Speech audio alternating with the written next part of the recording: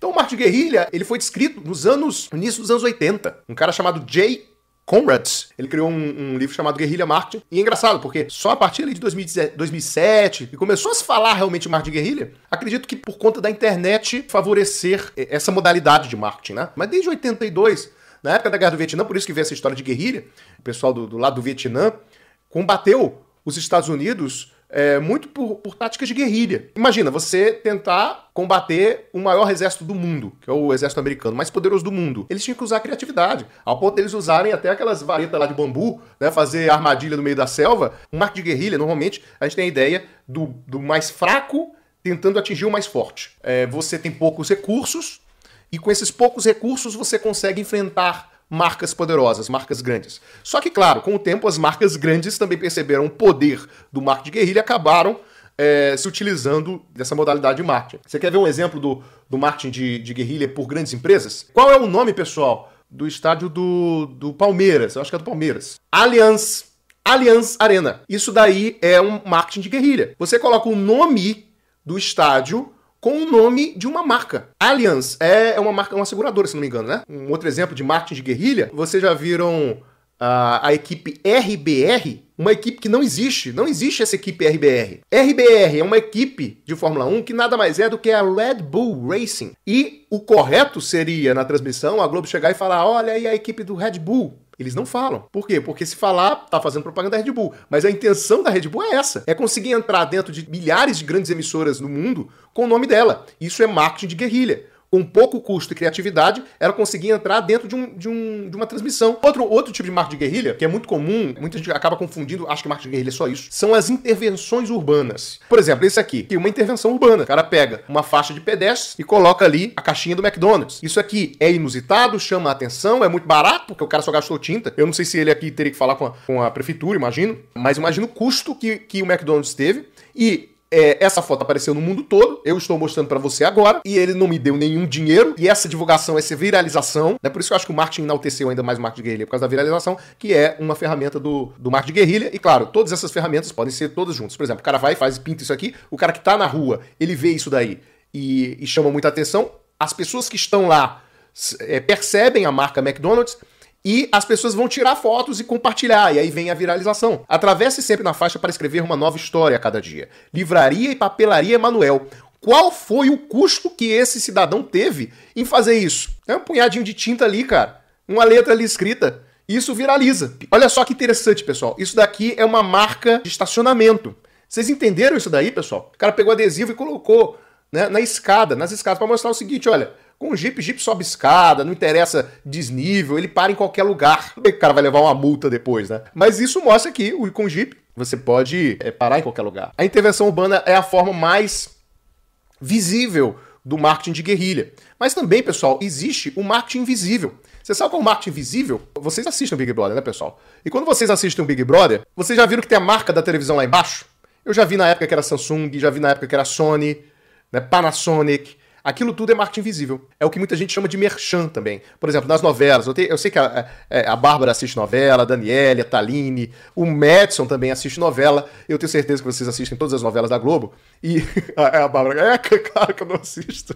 Por exemplo, a pessoa tá lá tomando Coca-Cola. Aí ela tá falando ali e tal, tomando Coca-Cola. Ela não fala em momento algum da Coca-Cola, mas ela tá ali. Aquilo é um marketing invisível. Aí vem a história das meta-mensagens, né?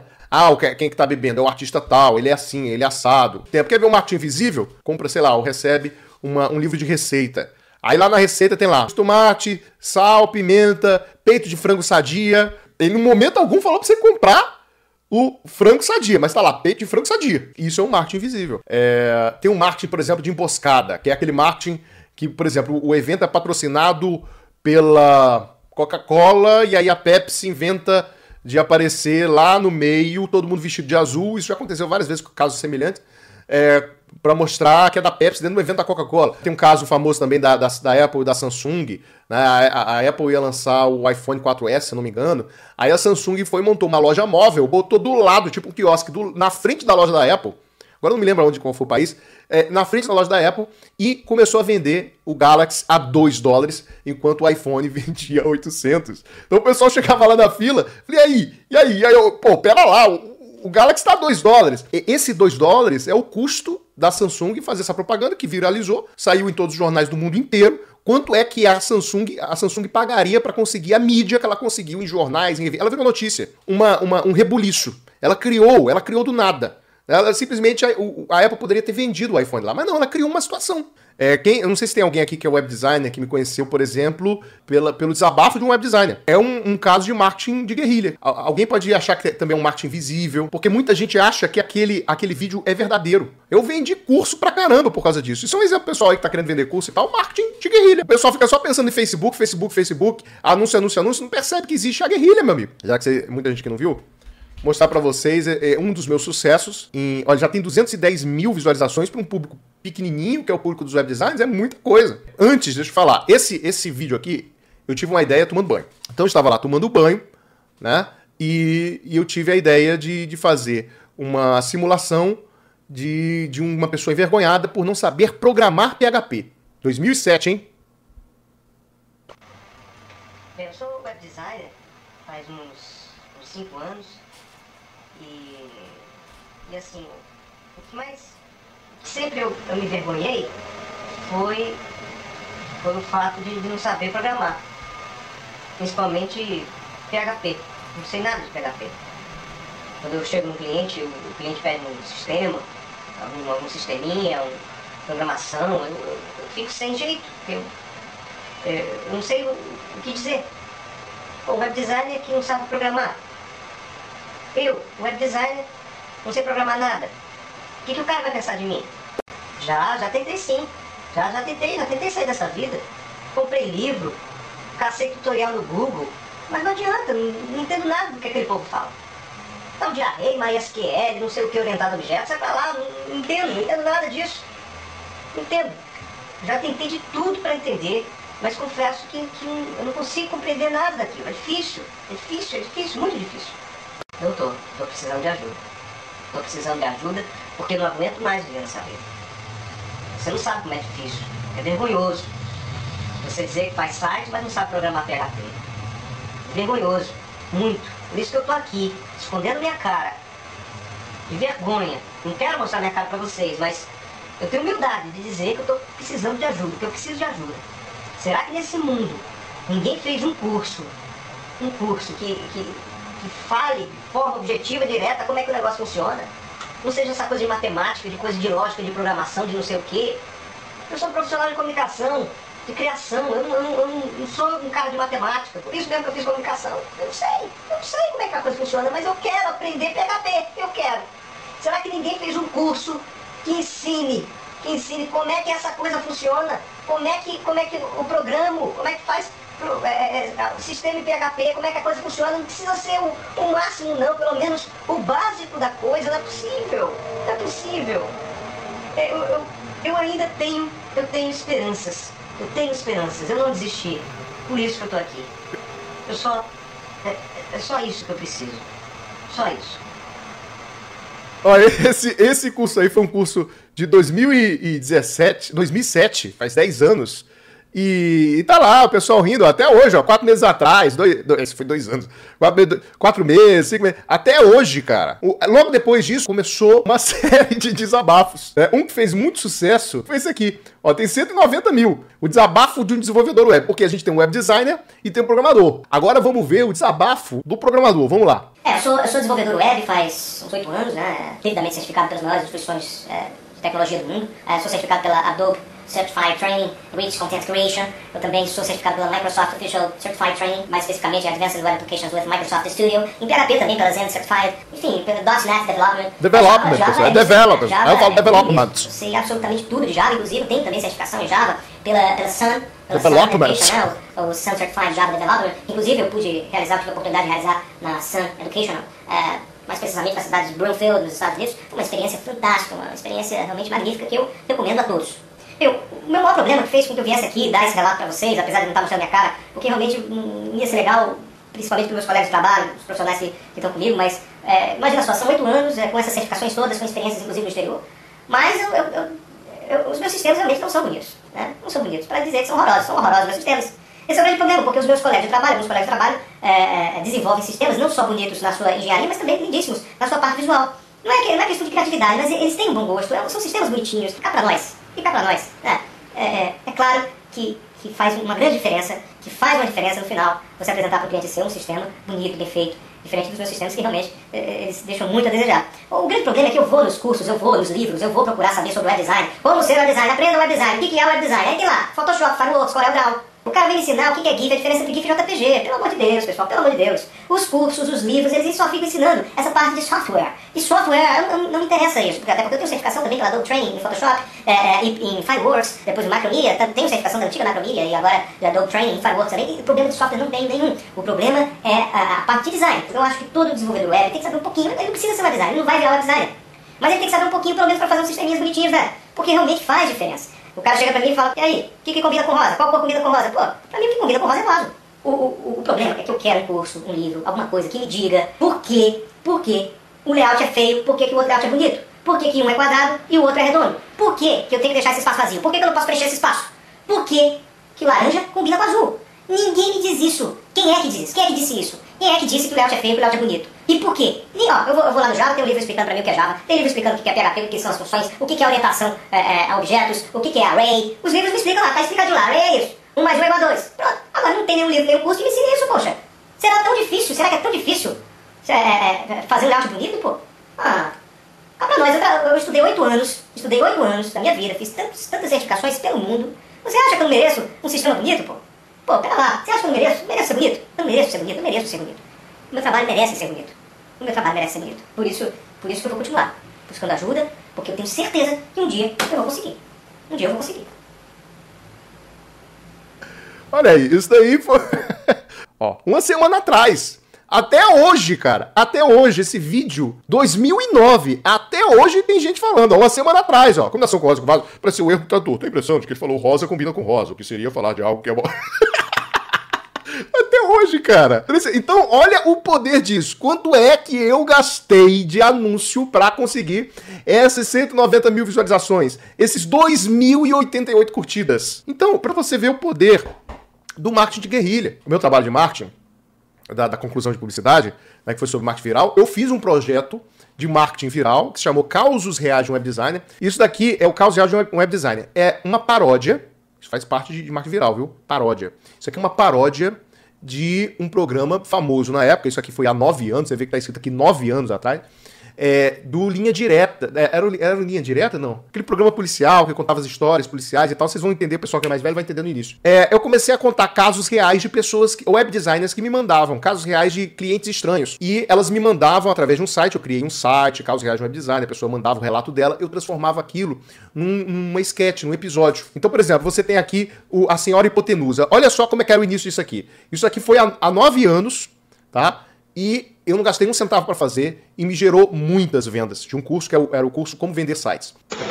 Olha como é que era o começo. Era um programa de televisão. Olha lá, deixa eu botar meu fone aqui. Aí vinha a apresentação. Olha como é que era a apresentação. Olá. No programa de hoje, veremos a história de Pacífico Guerra, um web designer, pacato e solitário, responsável pelas atualizações da intranet da empresa de senhora Hipotenusa Maricó. Hipotenusa possui estranhos gostos. Consegue ver aquilo que ninguém enxerga. Pacífico recebia diversos telefonemas de senhora Hipotenusa, o que muitas vezes o deixava muito irritado. Veja isso. A história não, era você decide não. Era você decide não. Agora me esqueci o nome. Pacífico Guerra é web designer e programador. Foi contratado pela senhora Hipotenusa Maricórnia responsável pelo CPD de uma grande empresa. Sua missão era atualizar algumas seções da intranet da organização. Uma dessas sessões era o álbum de fotos. Era o linha direta, era o linha direta. Todos os dias, Pacífico recebia fotos enviadas pela senhora hipotenusa. Um dia tenebroso e cinzento, Pacífico recebe o telefonema de senhora hipotenusa. Alô? Que foto horrorosa foi essa que você colocou no nosso site? Peraí, peraí. É, quem é que tá falando? Ora, quem tá falando? Hipotenusa Maricórnia. Ah, olá, senhora hipotenusa. Em que, que eu posso ajudar você? Você não tá vendo? No álbum de fotos do nosso site? Você não viu que absurdo? N- Não, não, não, juro, juro que não vi. O que, que foi? Oh, meu Deus do céu, não sei como você não viu tamanho absurdo. Olha essa moça da primeira foto. Sim, mas o que, que tem? que tem ela? Eu pedi pra você manter os padrões da foto, colocar todas do mesmo jeito. E você me aparece com uma foto com esta moça pescoçuda desse jeito. Foi há nove anos, Douglas. Nove anos. Sim, olha que absurdo. Você esticou o pescoço dessa pobre moça. Você sabe manter proporção. Você não é web designer? Você não sabe que sempre temos que manter as proporções? Não é só proporção de fonte, layout, não. É de pescoço também. Sim, eu sei disso, mas o pescoço dessa moça é desse jeito. Como é desse jeito? Você está achando que eu tenho cara de maluco? Que sou doido? Está na cara que esse pescoço vai esticado, meu filho. Exijo que você mude isso agora. Mas como? Eu não mexi nesse pescoço. Du- dois detalhes, tem sete minutos. Se eu fosse fazer hoje, eu faria menor, faria três minutos. Duas coisas. A voz do, desse meu amigo, que é o Caio Ferreira, esse aí que você tá vendo, é a, a- a minha. É a minha voz, não sei se vocês perceberam. E a voz da que, que sou eu, que sou a hipotenusa, é de um outro amigo meu, que é o Fernando. Faz tempo que eu não vejo o Fernando. Ele fez, ele fez a dublagem. Então, cada um dublava a voz do outro. E não era, não era o original, né? Então, tentando aqui o final. Deixa eu botar aqui, ó. O final. E aqui as risadas também estão muito altas. Eu, se fosse hoje, eu, botaria mais baixinho, porque não dá pra escutar direito. Mas olha aqui o final, ó. Você jamais iria ver. Tá vendo como eu tenho olhos de designer? Cuidado, Sim, Douglas. Posso acabar virando web designer também. E você vai acabar perdendo pra concorrência. E então? Quem é o culpado dessa história? Aí, ó. O web designer ou o cliente?